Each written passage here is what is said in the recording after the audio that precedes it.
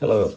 In this video, I'll be helping you with the ALEKS problem type called multiplying binomials in two variables. We're asked to multiply these two binomials and simplify our answer. And of course, we can think of multiplying binomials as the FOIL method. So I'm going to use these colors to illustrate this. Starting with the F, I would multiply the first terms. So 2y times 2y.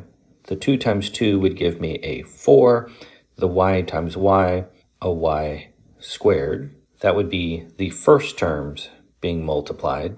Then I would move to the outer terms and multiply the 2y and the 7z.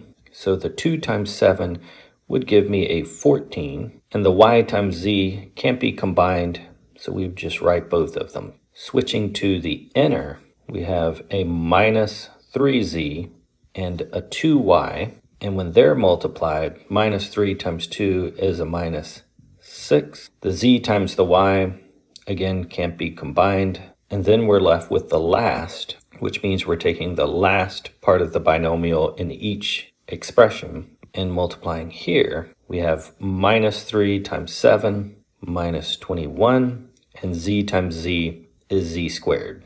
We do need to make sure that we simplify our answer by combining like terms and we do have like terms here for the middle.